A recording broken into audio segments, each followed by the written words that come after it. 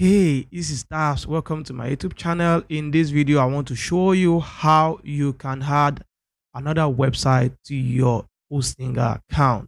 So if you have invested in an Hostinger account and you have a premium web hosting, not a single web hosting, you will have the option to add additional website to your to your account.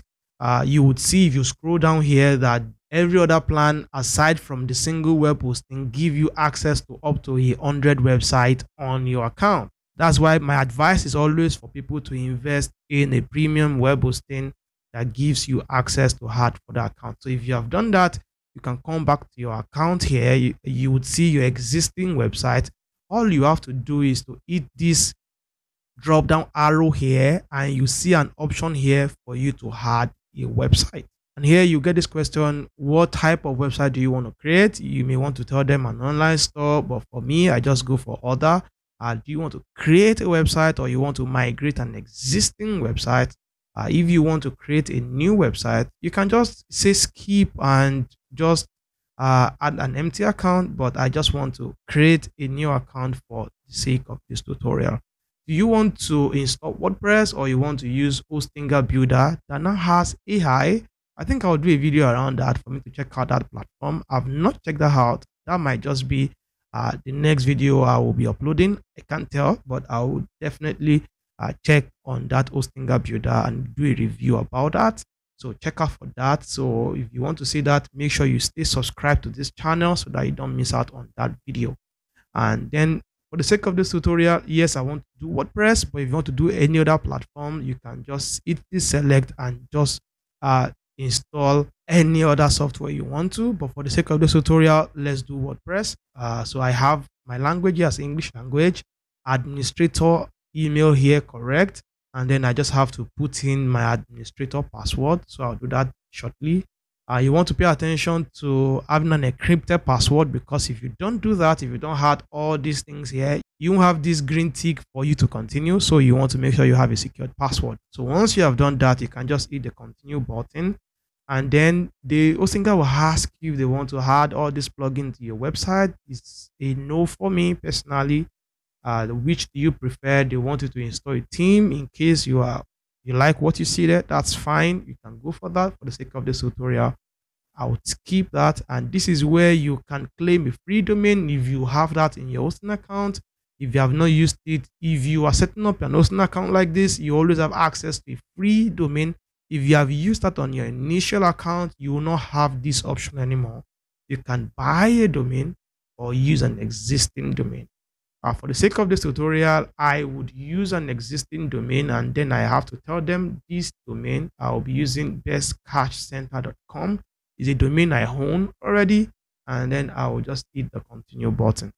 Uh, Hostinger have been able to see that I registered this domain with Dynadot and this is the expiration date and this is the existing name servers as so as you can see i already added these name servers to this hostinger account. So if you have not done that all you have to do is to copy these name servers it may not be here exactly but hostinger will let you know that this is the hostinger name server so you have to copy it and then go to your hosting provider and update your name servers i want to believe it's something very easy to do uh, regardless of the domain provider you are using is the same process. So if you can't find a place for name servers around that domain, you may want to cost you may want to contact your domain provider to assist you change that name server. So that's it for you if you are using a domain registered outside. If you are buying a domain from Hostinger, you won't need to update your name servers. But buying a domain from Hostinger is a lot expensive than trying to buy it from domain providers that are specialized in providing domain services like dynadot.com. I find that platform extremely uh, secured and cheap. I can secure a domain name for as low as $10 sometimes. Uh, sometimes, even when there are good deals, I get a cheaper price than $10. You may want to check dynadot.com, but if you are somebody who prefers to have everything in one space, then why not buy it from Hostinger directly? But you just have to spend a little box extra. So that's it. Once you are done with that, you can just hit the continue button if you have updated your name servers. Immediately that is done, you see that WordPress is already installing on this new website. So you give this some time. Uh, this will complete in a few seconds from now. So let's just watch it complete.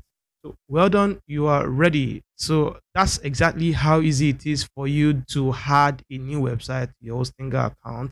Uh, most times, uh, it's just easy for you to just go to your website directly. But for me, I like to go to my control panel first for me to see that my SSL was installed correctly. Sometimes you get error. Uh, in this case, I might because I deleted this website from my account not long ago. So the former SSL may still be propagating. So once we are here, I can just easily come down to security and come down to SSL for me to check that. As you can see, it just got installed, SSL installed, and that's it. Once this is done, I can then view my, I come back to dashboard, and then I'll see a link here for me to check my website. So if I click this, it will open up my website for me. And that's it. I have a freshly installed website on my Hostinger account. This is super simple, super easy. So if you come back here, if you want to go to the dashboard, you can come to edit website and this would create a secured link directly to your WordPress dashboard. As you can see here, I'm already in my dashboard and that's it. This is how super easy it is. So you can install anything, any plugin you want to install on your new website. And that's my time for this video. If you find this video extremely useful, as usual, give me a thumbs up. Uh, let me know if you have any issues in the comment. I'll look out for your I'll look out for the comment section. And above all, subscribe so that you don't miss any more videos from me. I'll be spending time to create more videos around Hostinger, walking you through everything inside Hostinger. So if you have an Hostinger account or you are investing in an Hostinger account, uh, you want to master Hostinger, you're a newbie, you are just learning this thing, you want to stay subscribed to this channel because I'll be a blog, I'll be that guy that would help you around Hostinger. And that's my time for this video. I'll see you in another video. And until then, have a nice time.